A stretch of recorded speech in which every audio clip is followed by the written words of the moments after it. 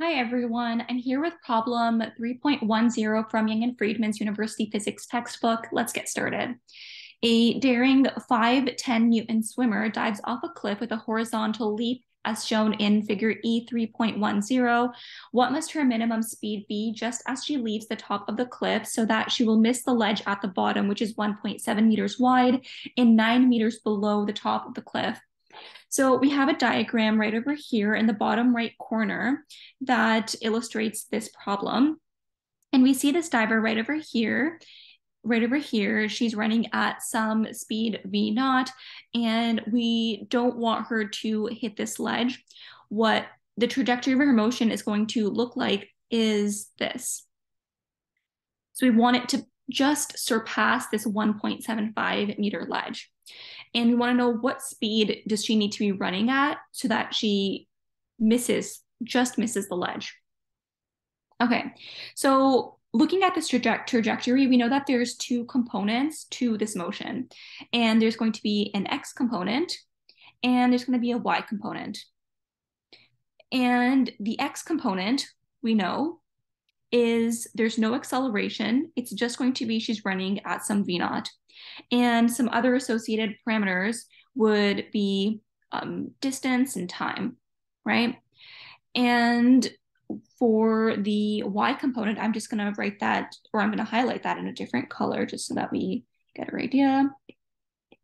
In the y component, we actually have more than just um, v naught. So we have our, um, well, she's going to be starting at this point, and she's just going to be in free fall from the y from the y perspective. And I'm just going to highlight that, color code that in. So just like that, she's going to be um, in free fall. And the variables associated with, with this are going to be V naught because she's going to start at some initial speed, and that's zero meters per second, right? She's going to be accelerating due to gravity, which is negative 9.80 meters per second squared. She's going to be um, reaching here at some VF, we're not really sure if we need that, but we'll just write that down for now.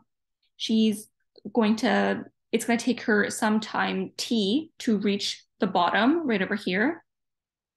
And then she's also going to be traveling at, um, she's going to be traveling the distance 9.00 meters, right? We don't know.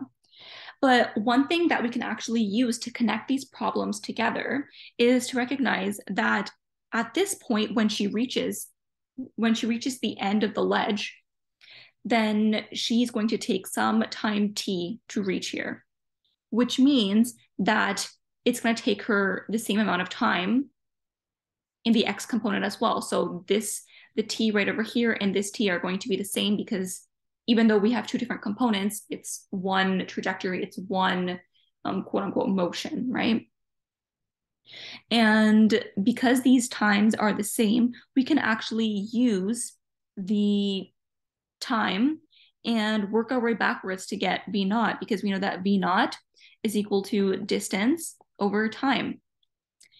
And I'm just going to go over why these two V naughts are different. So we have to remember that um, so we have to remember that the reason why these two V naughts are different is because when she's going to be running, um, she's going to be in free fall in the Y component, but in the X component, she's not accelerating. So if she's in free fall, Vy naught is going to be equal to zero meters per second, but V naught X is going to be some speed X. I mean, sorry, it's going to be some speed. So we're going to say that that's um, V naught X meters per second. We don't know what that is yet. But looking at this, we can recognize because the y component is zero, we can just say that v naught is equal to v naught x because there is no y component to it. And so let's go ahead and solve for this t right over here. And then we can use that to find v naught x or v naught as we just discussed. So which kinematic equation can we use to get these four pieces of information because we need we need three pieces of information and we're looking for a fourth. So we're trying to find time. And the equation that I'm going to be using is d is equal to v naught t plus half of plus half of sorry, just gonna check if I'm muted or not. No, not muted. Okay, half of v naught t squared. And I'm just gonna plug in my values. And I notice this is v naught is equal to zero. So distance is equal to half of negative 9.8 times t squared. That's going to be 9. Sorry, I should have plugged that in originally. Nine. And the t value that I get is plus minus 1.35526 seconds. So that's the time that I'm getting. So it takes her 1.355 seconds to reach from the top to the bottom, which means that this is the time that she's going to take to cross this ledge. So V naught X is equal to V naught is going to be the distance over the time that it takes. So we know that the distance is 1.75 meters. And the time this takes is 1.355 seconds. It can't be negative seconds, right? So we're going to take the positive answer, we're going to take the positive time, and we get V naught is equal to 1.29 meters per second.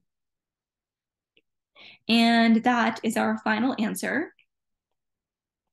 That is our final answer. So what must her minimum speed be just as she leaves the top, the top of the cliff so that she'll miss the ledge at the bottom? Well, V naught the time the minimum speed she needs to run at is 1.29 meters per second.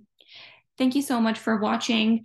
If you have any questions, please feel free to leave a comment or send me an email that I include below. If this video is helpful, please don't forget to like and subscribe and see you next time. Thank you.